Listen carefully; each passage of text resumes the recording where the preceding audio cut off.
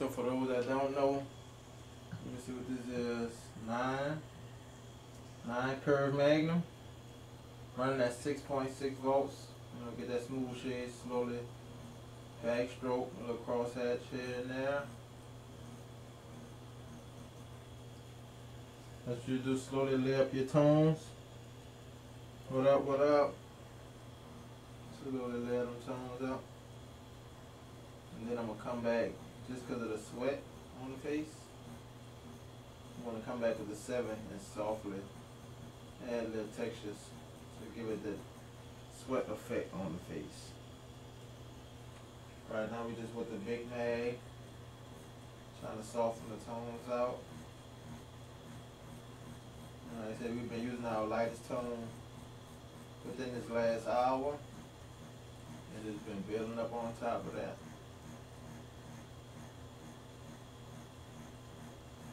That way you just gotta be patient too, cause you can see right here, I probably went too dark. A little too dark, too fast. Uh, just stuck with the lights to the medium. Then got dark. I somewhat did it that way, but not exact.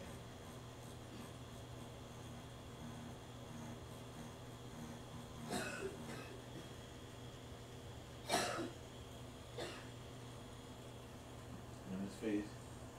This part, like they call it, look at this planes in the face, is a straight down right here. And this is like a smooth surface, or the curled over to the jaw. Really, we can pull kind of that way.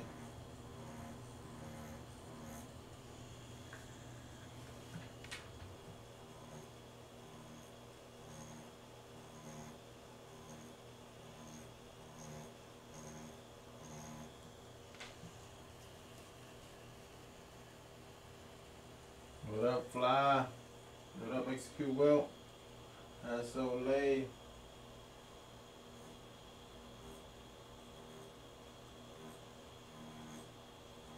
Badly pulling, soft, light. Now it may not look like you're putting them down, but let's believe in the needle putting in work.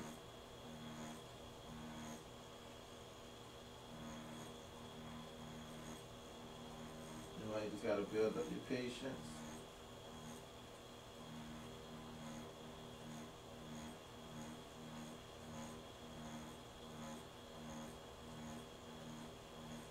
That's a little portrait, no delicate subject. You can take all the time in the world on it, no lie. Make sure it's right. Yeah, right to this way more softer.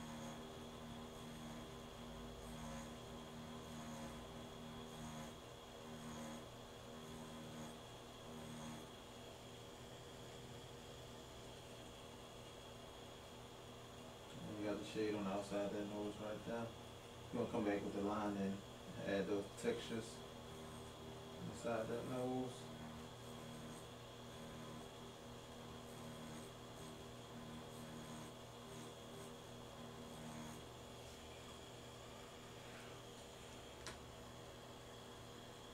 And really that kinda soften out.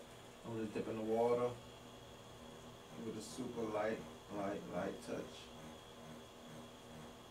Basically roll over into a light like that.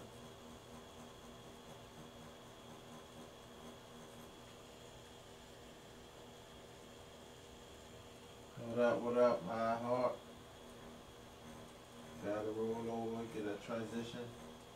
For those that be wondering how to like get the tones to transition, basically use that lightest, like like I said, start out with the lightest tone, and slowly start pulling over it, and connecting those two together. But of course, it's gonna have to show some kind of transition over. 'Cause that's super light right there. And really, now that I look at it, that probably should have been super light. And that's a challenge on, face skin too. They just gotta drop the machine all the way to the lowest volts. to Really get a super, super light, smooth tone. Drop it down to Let me see, five volts. That's probably the lowest it go. Oh no, this go way to four point five volts. This may be a little too. It may not be too slow though. You could you kind of hear the needle hitting the skin.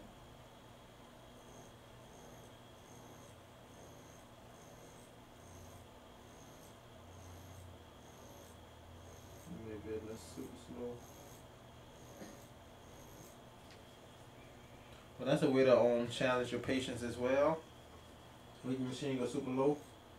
And of course going super fast, like with your hand speed. You know, it ain't gonna work. So you really gotta move with the pace of your machine. If you're really trying to lay the ink down.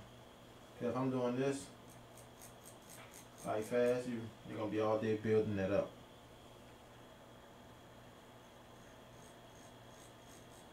And it ain't gonna be smooth, it's gonna be more like a pepper shade when you're moving fast with a slow on slow voltage.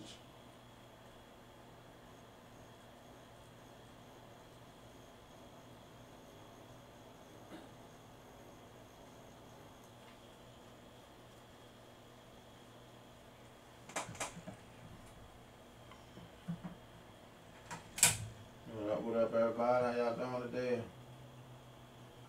That's one thing I wanted to do. I'm gonna use my own dog tone. Put on this side of that eye.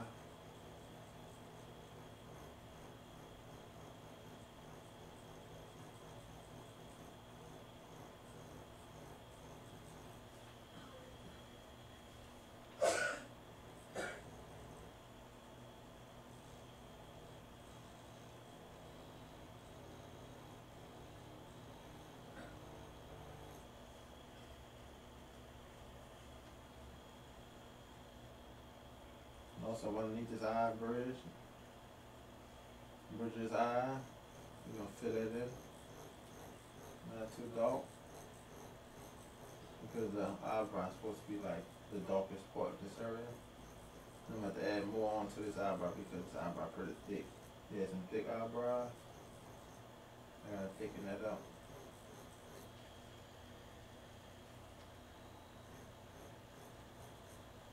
We still call it like the eye cavity.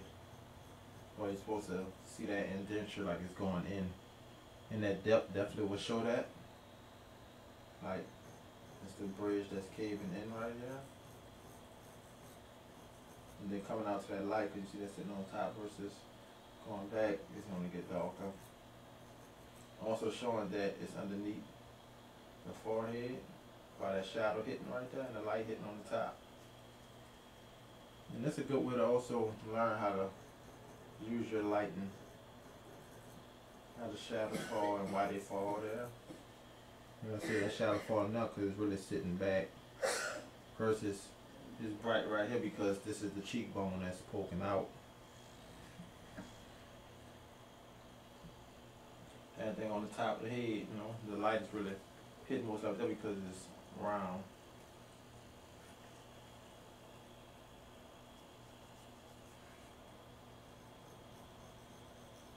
Start off by practicing one light source, two light source.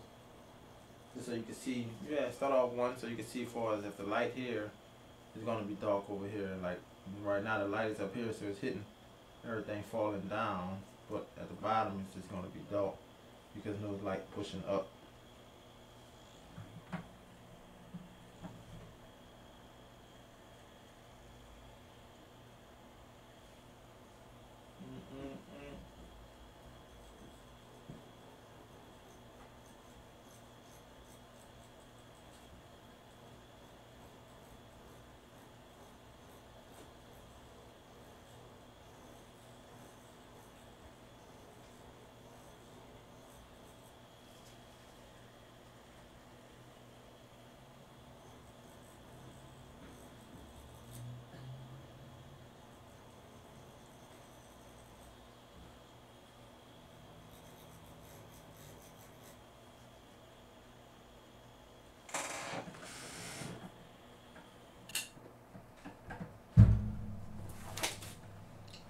I can that recording right there.